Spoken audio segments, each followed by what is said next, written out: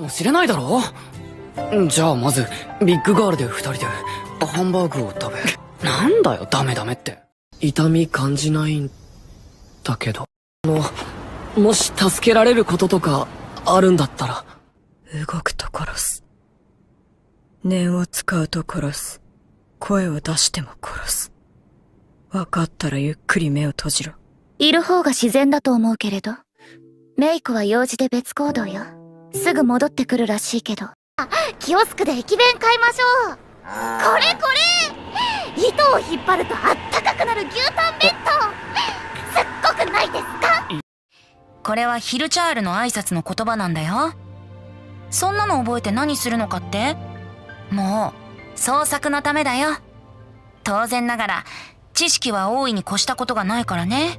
宮村よーすなんだ宮村か。髪切ったんだ。夏だしイメチェンか？そうなあなあこの後バーガー食べ行こうぜ。みんなのことを名前で呼びなよ。え？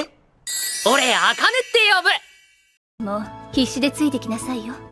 私もちょうど新作の執筆時期とぶつかるのよ。智也くんはこの先どうなると思う？